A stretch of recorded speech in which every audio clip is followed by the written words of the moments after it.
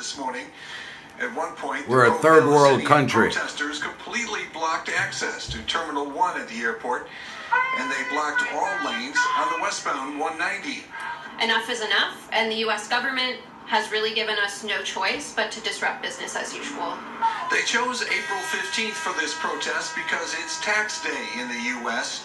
Their objective to bring attention to the war in Gaza and support Palestinians. For hundreds of air travelers, however, the point of the protest was lost amid their frustration with trying to catch their flights. Several spoke with ABC7's Stephanie Wade as they got out and walked from the interstate to their terminals. I understand that people have the freedom to do whatever they want, but when it starts impacting me personally, it's kind of an issue. This woman walked carrying her child. Yeah, this is the last thing we want to be doing. Chicago protest is one of dozens in several countries around the world. In this country, in San Francisco, protesters blocked access to the Golden Gate Bridge.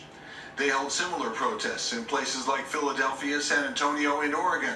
In Chicago, the protesters spent a few hours in a police wagon, hands bound together with plastic ties, before being processed and released. We um, made our point. We stood in solidarity with our comrades in Palestine, and uh, we certainly disrupted business as usual.